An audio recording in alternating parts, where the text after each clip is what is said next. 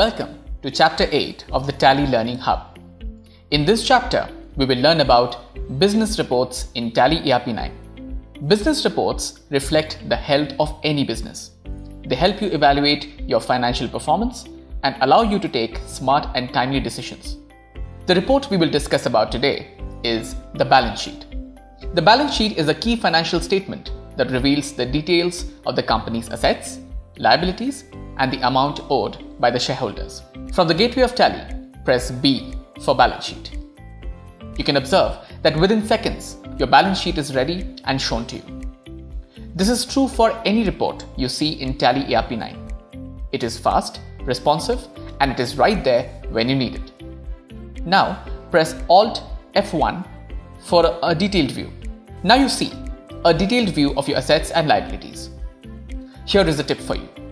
In Tally ERP9, press Enter to go deeper into the reports and press Escape to come back. Now, say that you want to see the breakup of sundry debtors. You can simply press Enter on sundry debtors to see the customer-wise breakup.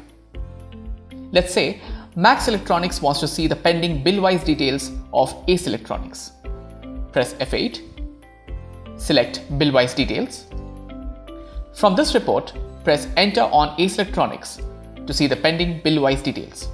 So you see, getting around Tally is so simple and easy. Once you're done with your analysis, you can simply press Escape to go back to the balance sheet in the same way you navigated earlier. Isn't it quite natural for the mind to seek additional information while you analyze the reports, just like Max Electronics did? It is so very true. In Tally, all the reports are designed to follow your thoughts and allow you to perform all the actions you thought about.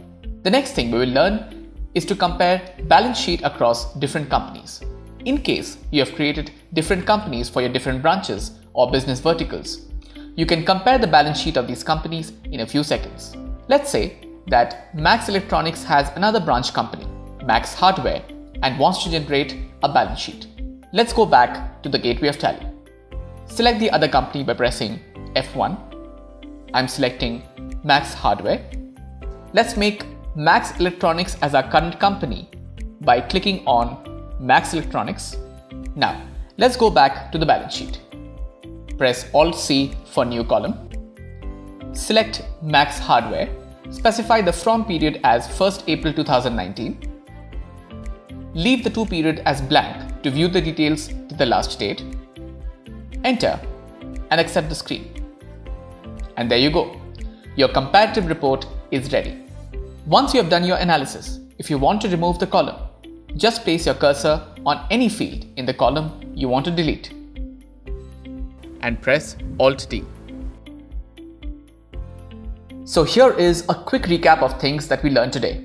Seeing the detailed reports using Alt F1, drilling down using Enter to see the final details of a transaction, navigating with ease using the keys from the side menu bar, and comparing the balance sheet with other companies. There are many more accounting and inventory reports available in Tally which help you make confident decisions. You can use the same navigation to access all the other reports. After all, quick and consistent navigation across all the reports make it simple to use and getting around Tally easier. In our next chapter, we will learn about profit and loss account in Tally ERP 9.